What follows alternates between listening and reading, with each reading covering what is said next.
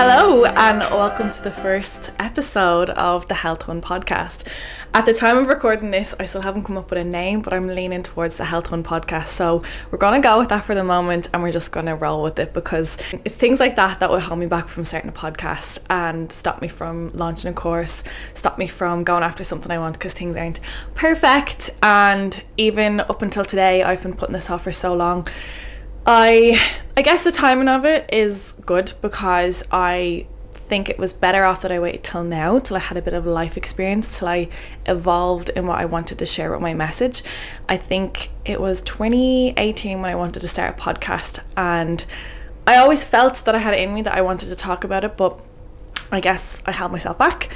But I do think that now I've got more experience working with clients and basically research more education, just throw myself into self development.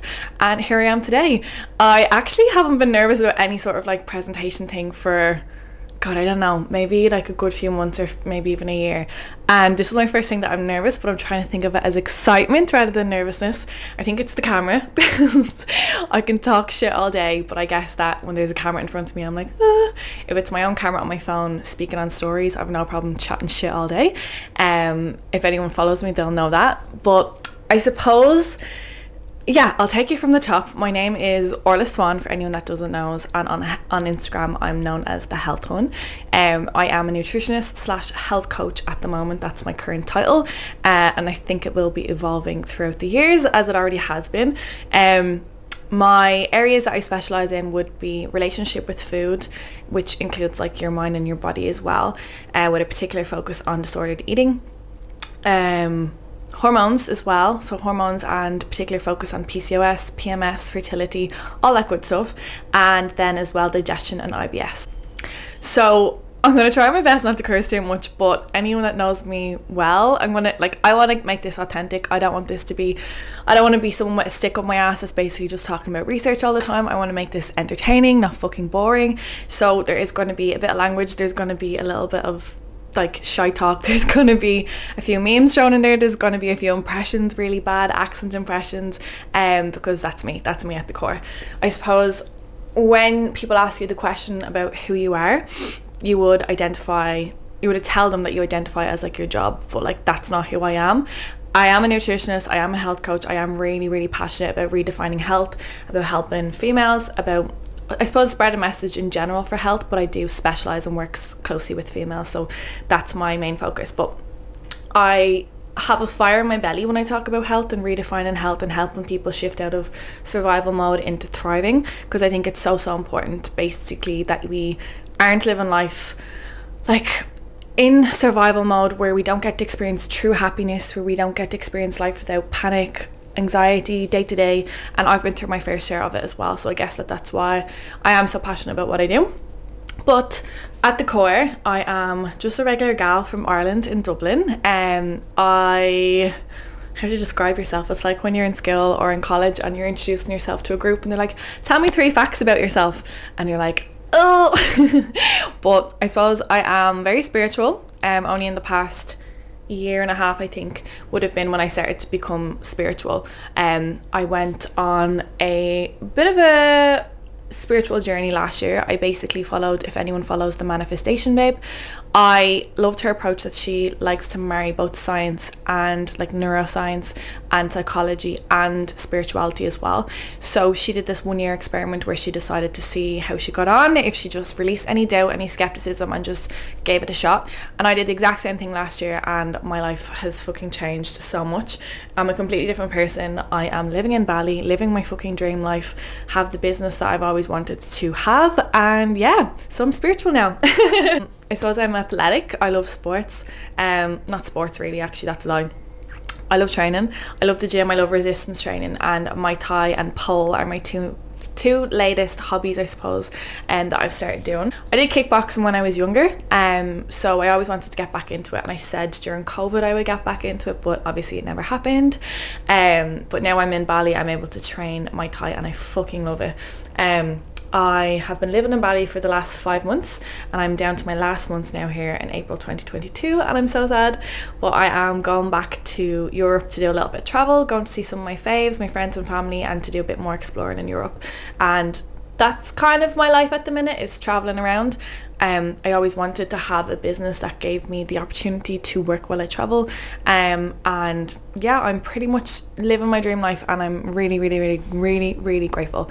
Um, but it took a lot for me to get there. So that's what I'm going to try and talk about on my podcast as well. I'm going to be talking about health, science, all that good stuff, all the areas that I specialize in with hormones, relationship with food, digestion, everything like that. But I also want to open people's eyes up. I want to help them think outside of the box, outside of societal conditioning outside of the four walls of your house, outside of your friendship group, outside of your neighborhood, etc. Because I've always had it in me that I wanted to live life differently. Um, and I thought that I didn't really fit in with a lot of people or a lot of jobs or a lot of just ways of living in life. Um, and I guess now I really appreciate that because it shows me that it's not that I need to fit in, it's that I'm actually part of doing life differently and then actually hopefully inspiring people um which has been nice messages that I've received recently I think what I really struggled with when I moved I moved to Portugal last year in 2021 that was my first time moving out from home and I really struggled with wanting to be relatable. So because I was living away from Ireland, I wasn't in the lockdowns and everything. I was like, oh my god, I'm not relatable anymore. I can't post this. I can't do this. But now I see myself as inspiring other people, and especially with like careers and making change and traveling and just living life fucking differently and better and asking for more. And everybody deserves more. So yeah, I'm very happy about that. Um, so let me take it from the top. Where do I start? So I think 2017 was the year that my life started to change. Um, I would have had really fucked up health before then, like really, really bad. Um, so myself, I have IBS, irritable bowel syndrome. I've got PCOS, polycystic ovarian syndrome. I've had my fair share of mental health and depression, trauma.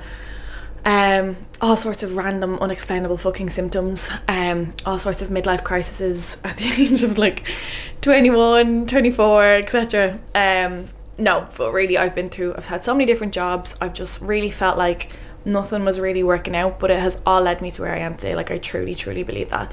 So, 2017, I became obsessed with self development.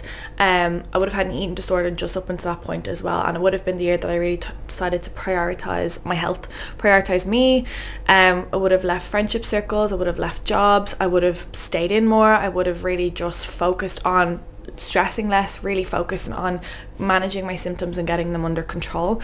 And it is through my own journey, it is through my own education on my own body that I have the tools and the knowledge and the experience that I can share with my clients today um, and through educating people on Instagram and now through the podcast.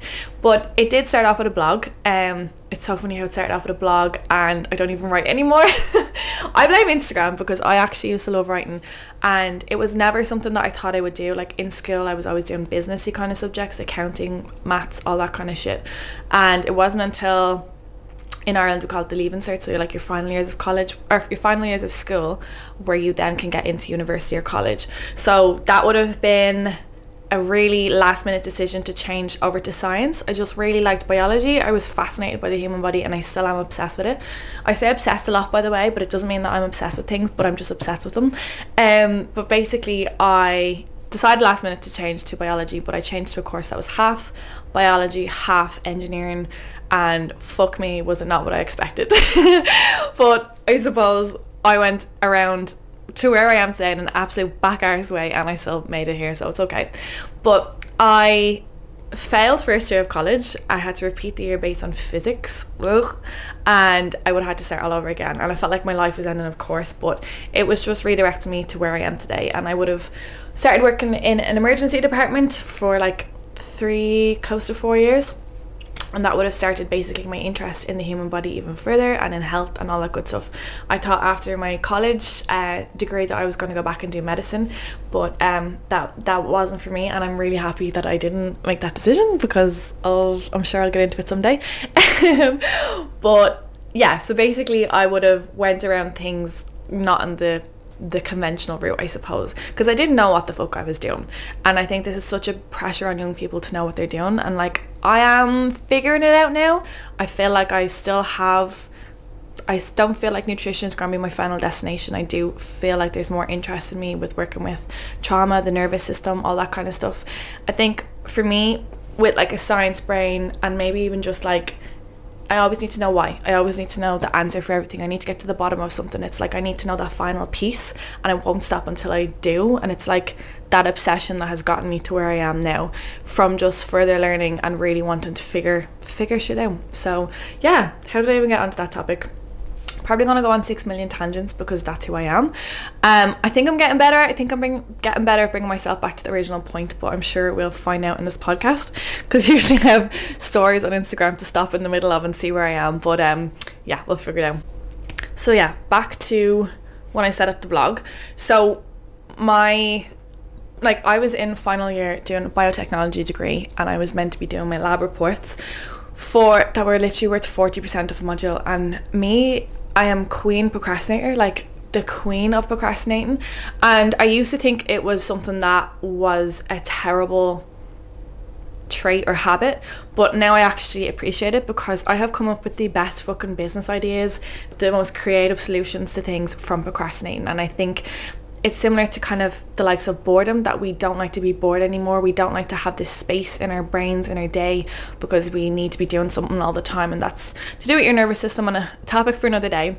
But I basically created a a cover for an ebook that was your no bullshit guide to beat the blow, and I created color schemes, I decorated it and everything, and my friends were like, "Orla." Go do your fucking lab reports. You're gonna fail. I actually did really fucking bad in that module as well. But anyways, but that kind of sparked something in me. At the time, I didn't know what I was doing. I just knew that. I don't know. It was just like an urge I was following, and that was that's what's gotten me to where I am today. Following my intuition, following these little nudges that I feel in me that I'm like, I don't know why, but I just want to do this, or I just feel like this is the right decision. Like I feel it rather than it logically makes sense, and that's that's a whole lot of my journey okay? Um but i yeah so that was the first thing and then that was kind of put in the bin because i remember Maeve Madden made her bloat book or whatever it was on recipes and I was like oh my god my business idea is gone! So that was gone.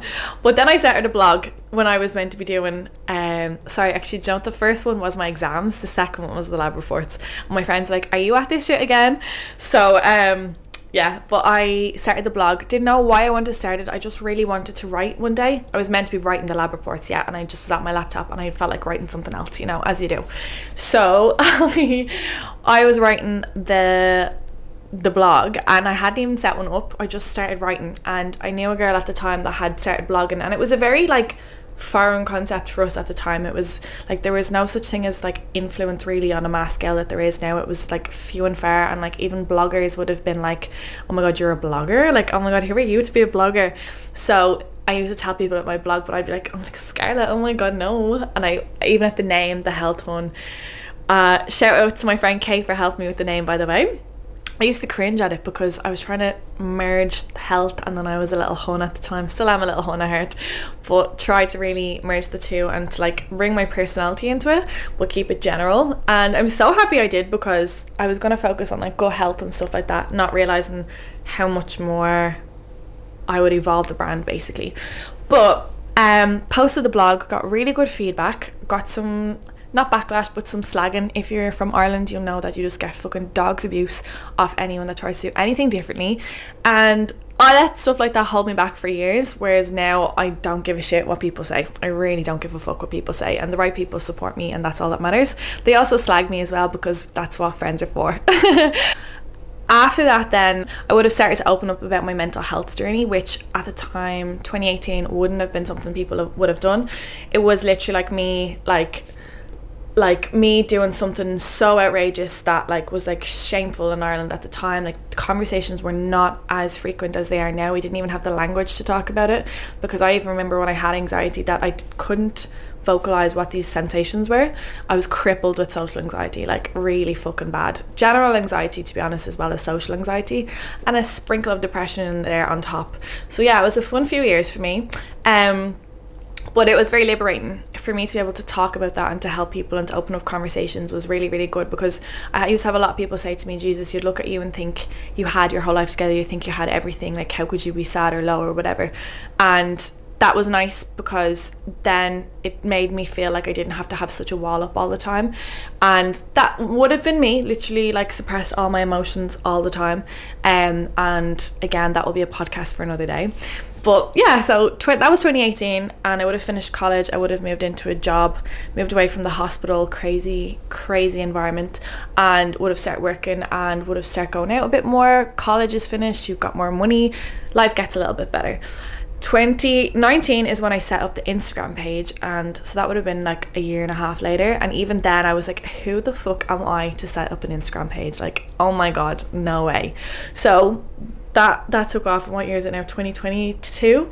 2020, the year we all still have fucking PTSD from with COVID, was the year, and I want to say it was the year. It's not the year I wanted. It's the year I needed because if we didn't have COVID, if we didn't have lockdowns, I wouldn't have had the time to work two jobs. I don't know how the fuck I did it. Don't know. Don't ask me how, but I did it for six months. I would have been studying nutrition as well as working full time, and then COVID hit and I had to do my exams. Like, and I put so much pressure. I remember I failed one exam and I had so much shame, so much embarrassment, so much guilt because I was like, how can I make this my career if I'm after failing an exam? Even though I failed my exam in first year of the biotechnology degree and didn't give a fuck. but anyways, there you go. So yeah, I was very lucky that my friend Saz, shout out to Saz, basically was pushing me into starting it straight away. I literally got my results in the May 2020 and then like more or less straight away she was like start taking on clients start it now. And I was like no no I've got all the theory but I haven't got the experience. Severe imposter syndrome like severe severe severe imposter syndrome like would eat me up. And even for the first like year of coaching the first year of even first like th- two three years of having my Instagram page so much imposter syndrome. I think as well I was always trying to fit in with certain crowds. Like I was like oh this is the evidence-based crowd. This is the naturopath crowd. This is the fitness crowd, this is the diet culture crowd, and I am someone who lies in the middle. I am open minded to it all. I take opinions on without my ego. Um, I do obviously favor towards evidence rather than woo woo shit that can be harmful for people. But I also take a step back and understand that science has not asked all the questions that we need to ask. We don't have the equipment to measure everything that we need to measure. There is biases in biases that a word biases um, with gender in research as well and there's not enough focus on females with especially with hormones. So i am neutral i'm in the middle and i am taking it all in from all all accounts and i am holistic in my approach but not in the holistic in the traditional sense that's like chinese medicine and stuff like that. But i am open to that because i have seen magical things happening um, based on things my clients have gotten done um, and there's research catching up with that. So say for example acupuncture say for example meditation. We're all catching up and kind of meeting in the middle so it doesn't have to be you're in either or camp of anything. So yeah um and that brings me up to today.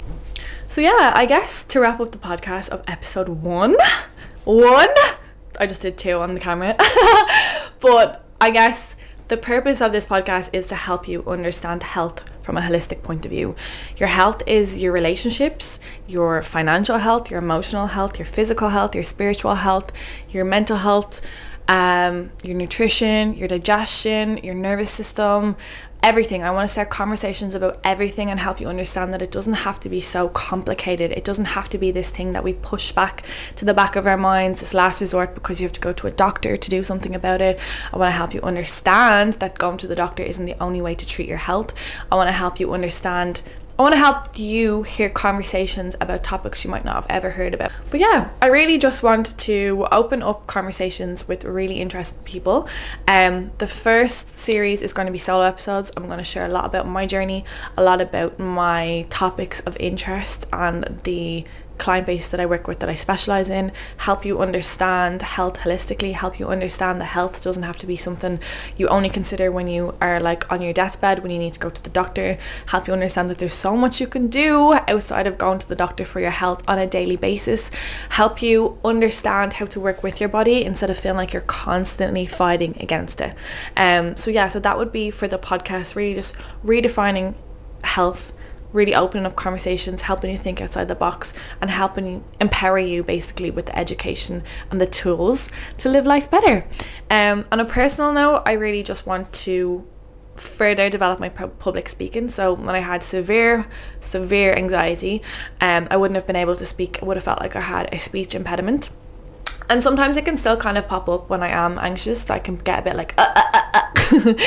and yeah, it can still happen in social situations. I've learned to be less um freaked out by it like when it happened it made it worse because I'd be like oh my fucking god this person what are they thinking of me but as I have worked through self development over the years, I've learned to give less of a fuck what people think about me. Now, I'm not perfect. Every so often, it will pop up, and I'll be a bit like, oh my god, but I am getting better at it. But I know that I want to further develop that with public speaking that little bit more and bring you all along the journey as we go. So, yeah, I really hope that you get engaged with this. I'm going to be using my Instagram stories for these topics. I'm going to be putting up um, question box polls, everything, trying to get you to get involved and help you open up the conversations within the community that I have been so lucky to build on Instagram. And I just want to say thank you to everyone who has followed me from Instagram from day one. Nothing but support. I've only ever had one troll, and we won't talk about that. But I I really do appreciate this community and the support because it gives me fire in my belly to keep going when you share your stories, when you show me your feedback, when you show me how I have helped you on your journey, I'm like, let's fucking do it. Let's keep going. Some days I get doubtful. Some days I wonder what I'm doing is the right thing. Some days I wonder if it even is the right career move or whatever.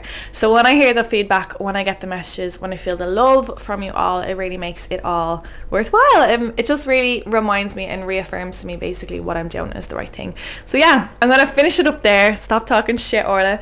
Thank you for listening. Um, I hope you enjoy. I can't wait for you to hear all the rest of the episodes and like and subscribe.